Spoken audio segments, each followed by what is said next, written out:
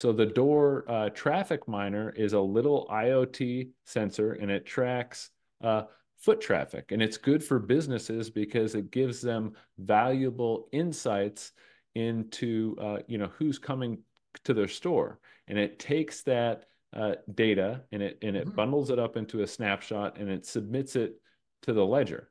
So it's a really simple use case. And right now there's about 3,000 of those uh, uh, of those miners online.